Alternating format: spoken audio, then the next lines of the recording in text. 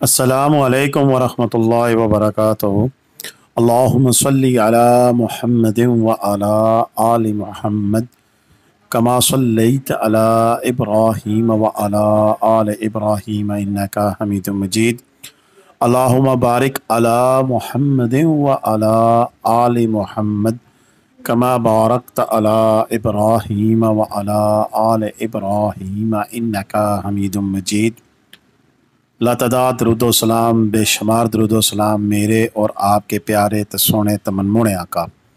हज़रत मोहम्मद मुस्तफ़ा सल्लल्लाहु अलैहि वसल्लम पर, आपकी आल पर और आपके असाब पर। अज़ीज़ दोस्तान करामी गुज्त रोज़ हमने आपको रास्तों के मतलब अपडेट दी थी कि मरी और गलियात जाने वाले रास्तों की क्या सूरत हाल है। तो अभी जब रास्तों में बेहतरी आई है तो भी हम अपडेट दे रहे हैं। कि कुछ अबाम बाकी है कि कुछ लोग कह रहे हैं कि सारे रास्ते खुल गए हैं, कुछ कह रहे हैं कि कुछ रास्ते बंद हैं, कुछ खुले हैं। तो उस हवाले से हमने कहा कि डिटेल अपडेट दे दें, जो लोग गलियात आना चाहते हैं तो उन्हें मालूम मिल सकें कि इस वक्त वहाँ पर सूरत हाल क्या है, गलियात के रास्तों की, मरी के रास्तों की, और साथ वहाँ पर मौसम कैसा है। आज की इस वीडियो में ना सिर्फ़ हम आपको खूबसूरत तरीन नज़ारे दिखाएँगे, बल्कि आपको हकाइक बताएँगे कि इस वक्त रास्तों की सूरत हाल और मौसम की सूरत हाल क्या है और अगले आने वाले पूरे हफ़्ते में मौसम की सूरत हाल कैसी होगी? इस सब पे बातचीत करने से पहले आपसे यही दरख्वास्त है कि जिन दोस्तों ने अभी तक हमारा चैनल सब्सक्राइब नहीं किया हुआ तो बर मेहरबानी हमारा यूट्यूब चैनल सब्सक्राइब कर लें और घंटी का बटन दबाकर आल नोटिफिकेशन का बटन भी ऑन कर लें, ताकि आपको हमारी हर आने वाली वीडियो का मैसेज मौसू हो सके। सबसे पहले तो हम ये बात करेंगे कि गुज्त रोज़, यानी कि चार तारीख से गुजशत नहीं, उससे पिछले दिन चार अक्टूबर और आज छः अक्टूबर 2024 है। तो चार अक्टूबर से मरी आने वाले तमाम जो रास्ते थे, उन्हें बंद कर दिया गया था और उसकी मेन वजह एक सियासी जमात का प्रोटेस्ट था और उसकी वजह से इस्लामाबाद के खारजी और दाखिली तमाम रास्ते बंद कर दिए गए थे। और यहाँ तक के मोटरवे से भी आने का जो सिलसिला था, वो तकरीबन ना, नामुमकिन सी बात थी। और तमाम इलाका जो है वो एक नो गो एरिया बन चुका था। इसी सिलसिले में जो रास्ते बंद किए गए थे वह रवात से आगे कोटली सतिया आने वाले रास्ते थे। और यानी कि मसियाड़ी के से दूसरी रास्ते पे न्यू पत्राटा के ज़रिए अगर आप आते हैं तो वो रास्ते भी बंद थे। इसके अलावा अगर हम एक्सप्रेस वे की बात करें तो वो रास्ता भी बंद था। पुरानी जीटी रोड मरी, वो वाला रास्ता ही बंद था।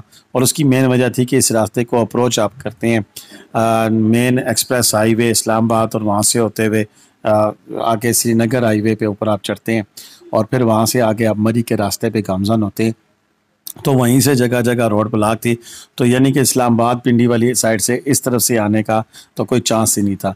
इसी तरह अगर हम बात करते हैं कि दूसरी साइड से आप बाराको वाली एक रास्ता इस्लामाबाद के डी टायर सेक्टर की तरफ़ से निकलता है, उस साइड से अगर रोड की बात करते हैं तो वो भी रोड बंद थी। और अगर हम इस्लामाबाद से ऊपर मुनाल और मुनाल से ऊपर चढ़ते उस रास्ते की बात करते हैं तो वो रास्ता भी बंद किया हुआ था।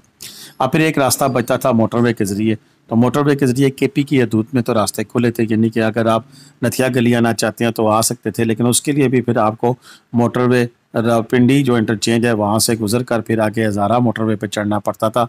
तो वहाँ पर भी प्रोटेस्टर मौजूद थे, हालात ख़राब थे और वहाँ पर भी जाना मुमकिन नहीं था।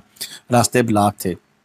इसी तरह फिर अगर आप वहाँ पहुँच भी जाते हैं किसी तरीके से, खानपुर वाली साइड से अगर आप बात करें तो वो रास्ते भी ब्लॉक किए गए थे और वहाँ पर से भी जाना मुमकिन नहीं था। अगर आप पहुँच भी जाते हैं तो आगे बाड़ियाँ के मुकाम पर भी ब्लॉकेज थी और वहाँ से भी नहीं आ सकते थे। ये तो वो सूरत हाल थी जो कि गुज्त रोज़ मौजूद थी। लेकिन आज सूरत हाल कुछ यूँ है कि तमाम जितने रास्तों का मैंने नाम लिया है, ये सारे रास्ते खुल गए हैं। रिपीट नहीं करना चाहता वीडियो लंबी हो जाएगी। तो ये तमाम रास्ते खुले हुए हैं ईजी एक्सेस है। रास्ते जो बंद हैं, वो सिर्फ़ इस्लामाबाद के जो दाखिली दरवाजे हैं, जैसा कि फैज़ाबाद से इस्लामाबाद ब्लू एरिया की जाने जाने वाला रास्ता बंद है। लेकिन फैज़ाबाद से आप मरी की लोकल ट्रांसपोर्ट भी चल पड़ी है और रास्ते भी खुले हुए हैं।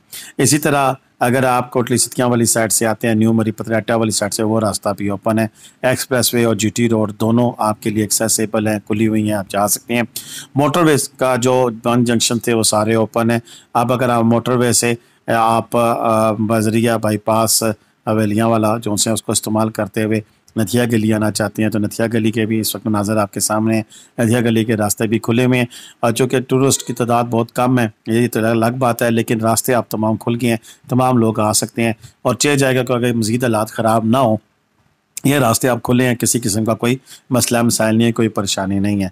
मौसम की बात अगर आप करें, रास्तों की मैंने बता दी है तो मौसम की अगर हम बात करते हैं तो मौसम गुज्त बारिश का एक सिलसिला रहा पिंडी इस्लामाबाद के साथ साथ यहाँ पर भी तो उसके वाले से बहुत ज़्यादा ठंड हो चुकी है।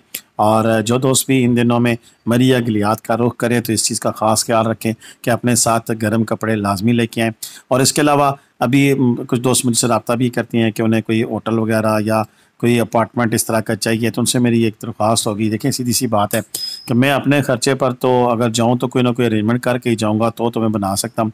लेकिन आपकी कोई डिमांड है किसी भी हमारे देखने वाले की, कोई इलाका देखना चाहते हैं या इस तरह की कोई डिमांड है, कोई होटल वगैरह तो उसके लिए प्लीज़ फिर हम आपसे उसके एक्सपेंडिचर ज़रूर लेंगे। ज़्यादा राह जिसे कहते हैं कि आप हमें भेजें और हम आपके लिए ट्रैवल करेंगे, वहाँ पर रहेंगे, हमारे खाने पीने के अखराज और प्लस हमारे आने जाने के अखराज हम आपको सारी डिटेल शेयर कर देंगे कि वहाँ पर कौन कौन सी चीज़ रेंट के लिए अवेलेबल है कौन कौन से होटल रेंट पे अवेलेबल हैं, और सारी डिटेल आपको देंगे।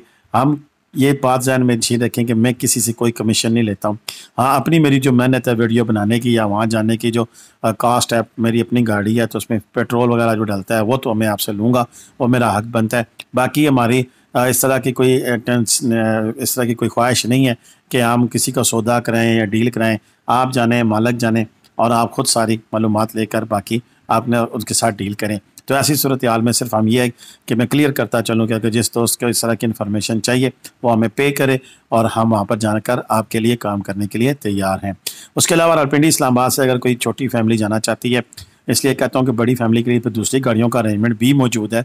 लेकिन अगर आप दो से तीन बंदों की फैमिली है तो उनको मैं खुद भी लेके जा सकता हूँ, मरी गलियात वगैरह का विज़िट करा कर ला सकता हूँ। और अगर बड़ी फैमिली है तो उनके लिए चंगान कारवान और फिर दीगर गाड़ियाँ भी अवेलेबल हैं, वो भी हम अवेलेबल कर सकते हैं। लेकिन एक चीज़ और जहन में रखें कि हमारे पास या हमारे साथ गाड़ियों वाले वो हैं जिनके पास एक तो ब्रांड न्यू गाड़ियाँ हैं और प्लस एक्सपर्ट बंदे हैं और प्रोफेशनल ये जो ड्राइवर लोग होते हैं, वो नहीं है, बल्कि डिसेंट कारोबारी तबके से तलक रखने वाले या नौकरी पेशा अफराद हैं, जिनको शौक है जाने का और वो फैमिलीज़ वाले ख़ुद हैं। इसलिए उनको हमने साथ ऐड किया हुआ है। तो रेट जो है वो छः हज़ार रुपया चंगान का रेंट है, कार का रेंट भी छः है। जो कम रेट वाली गाड़ियाँ होती हैं, बाजारी गाड़ियाँ होती हैं, वो नहीं है। लिहाजा इस चीज़ का खास ख्याल रखें।